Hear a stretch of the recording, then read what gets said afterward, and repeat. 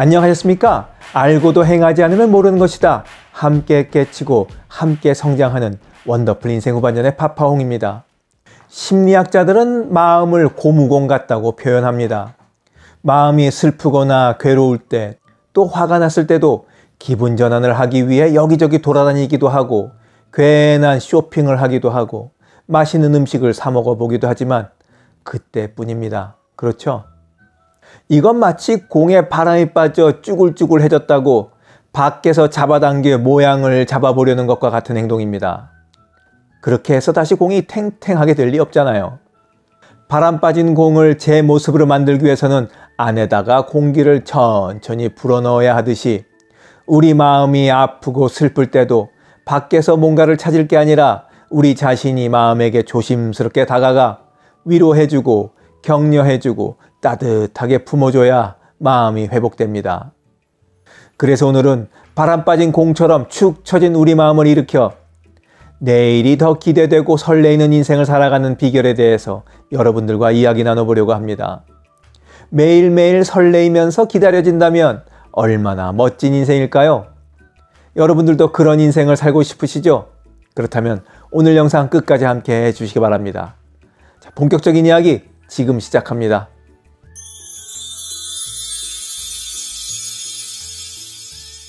내일이 더 기대되고 설레이는 인생을 사는 비결. 첫 번째, 할 수 있는 것부터 작게 시작한다.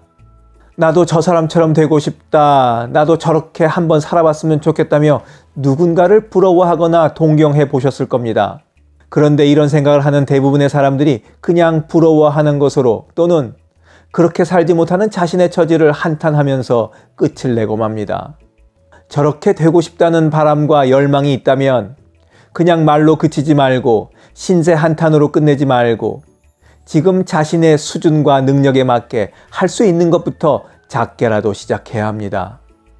얼마 전에 유튜브에서 동네 산책로에 있는 체력 단련장을 이용해서 예순의 나이에도 청년 같은 근육을 갖고 있는 분의 영상을 봤었습니다. 지나가던 한 분이 다가와 부러움을 표시하며 대단하다, 부럽다, 나이가 몇 살이냐, 어, 뭐 이러면서 연신 감탄만 하는 겁니다. 아니, 정말 부러웠다면 여기서 어떤 운동을 하냐, 언제부터 했냐, 몇 년 걸렸냐, 내가 지금이라도 운동을 하면 뭐부터 해야겠냐, 뭐 이런 거를 물어봐야 되지 않았겠습니까? 그런데 이런 것은 하나 물어보지 않더라고요. 부러우면 정말 그걸 물어보고 내일부터라도 자신도 운동을 시작하면 되지 않습니까? 그런데 안 그러더라고요.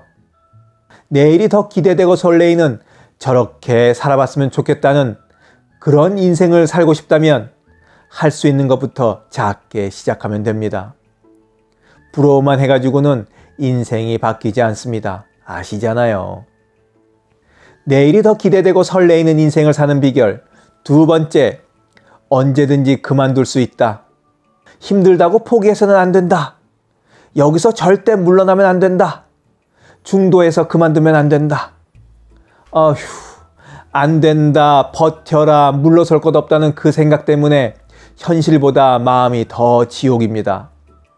아니, 이거 아니더라도 다른 대안이 얼마든지 많은데 물러서면 안 된다는 생각에 이 악물고 버티다가 끝내 더 큰 좌절을 보게 됩니다. 힘들어 죽겠다며 고통을 호소하는 사람에게 그럼 뭐 남의 돈 먹기가 쉬운 줄 알았어? 남들도 다 그렇게 사는데 왜 너만 그러냐? 약해 빠져가지고는 이런 말을 하면서 퇴로를 막아버립니다. 가까운 사람마저 이렇게 이해를 안 해주니 결국 극단적인 선택을 하기까지 하죠. 세상에 무슨 일이 있어도 계속해야 하는 일은 없습니다. 인생 살면서 선택지는 생각보다 또 많고요. 그러니 언제든지 마음 내키면 그만둘 수 있다고 생각하시기 바랍니다. 그러면 또 사람 마음이 참 우스운 것이 그렇게 힘들고 괴롭던 일도 또 참을만 해집니다. 물러서지 않는 것이 강한 것도 아니고 우직한 것도 심지가 굳은 것도 아닙니다. 여러 선택이 있는데 하나만 붙잡고 괴로워하는 것은 미련한 짓일 뿐이죠. 그만두고 싶을 정도로 정말 힘드세요? 그럼 언제든지 그만둘 수 있다고. 그러다가 또 마음 내키면 다시 할 수도 있다고. 그렇게 가볍게 생각하시기 바랍니다. 내일이 더 기대되고 설레이는 인생을 사는 비결. 세 번째, 문득 생각이 나서 해보는 용기를 갖자. 우연히 좋은 기회를 만나 그 덕에 하려던 일을 해치운다는 뜻이 담긴 떡본 김에 제사 지낸다는 속담이 있습니다. 아, 우리 조상님들 유머 감각 굉장하지 않습니까? 모든 일을 계획하고 철저히 준비해서 할 수만은 없는 노릇입니다. 전혀 기대하지도 않던 생각이 문득 떠올랐을 때 그 직감을 믿고 한번 해본다면 누구보다 자신부터 짜릿함을 느낄 수 있고 또 상대가 있다면 함께 행복한 순간을 경험할 수도 있겠습니다. 하지만 안타깝게 대부분의 사람들은 뭔가가 문득 떠올랐어도 에이 또 뭐 그렇게 하냐 또 에이 그렇지 하기는 좀 이러면서 모처럼 맞이한 흥미로운 순간을 그냥 흘려보냅니다. 문득 생각이 나서 옛 친구에게 연락 한번 해본다든지 문득 생각이 나서 어렸을 적 살았던 동네를 구경 가본다든지 문득 생각이 나서 배우자와 모처럼 단란한 시간을 마련해 본다든지 그렇게 하면 아무래도 사는 게 재미지죠. 내일이 더 기대되고 설레이는 인생을 사는 비결. 네 번째, 마지막.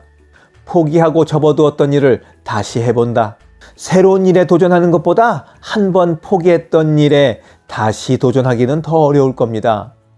한 번 부딪혀도 봤고 그 벽의 단단함도 몸소 느껴봤으니 또 다시 해본다는 생각만으로도 깝깝해질 수도 있겠습니다만 한 번 다시 해볼까 하는 마음이 불쑥불쑥 드는 이유는 그것을 하지 않으면 더 나이 들어서는 진짜 후회가 될 수도 있겠다. 그런 마음이 있기 때문입니다. 좀 부끄럽지만 제 얘기를 하나 해드릴게요. 제가 기타를 좀 치는데 정말로 좀 쳐요. 잘 친다는 말씀이 아닙니다.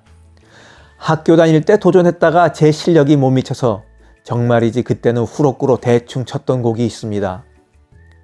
그 곡만 생각하면 스스로 창피해서 지난 40여 년간 듣지도 않았습니다. 제가 일부러 피한 거죠. 그런데 2주 전쯤 아주 우연한 기회에 문득 이 곡을 다시 한번 쳐볼까 하는 생각이 들면서 아이 그래 이제 창피하다고만 생각하고 피하지 말고 그 품었던 한을 한번 풀어보자는 데까지 마음이 움직였습니다. 그래서 요즘 한창 연습 중에 있어요. 재미지죠. 별일 아닌 것 같지만 저로서는 40여 년 동안 창피했던 거, 그 불편했던 마음으로 일부러 피해왔던 거를 이제서야 정면으로 바라보고 도전하는 겁니다. 그래서 요즘 내일이 더 기대되고 설레요. 뭐랄까, 미뤄두었던 숙제를 끝내고 있는 기분처럼 홀가분해집니다.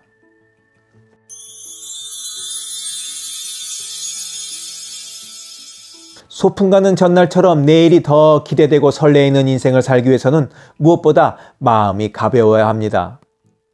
그렇게 가벼운 마음으로 첫 번째, 지금 자신이 할 수 있는 것부터 작게 시작하고 두 번째, 힘든 일 있으면 언제든지 그만둘 수 있다고 생각하고 세 번째, 문득 생각나서 해보는 용기도 필요하고 네 번째, 포기하고 접어두었던 일도 다시 해보는 겁니다.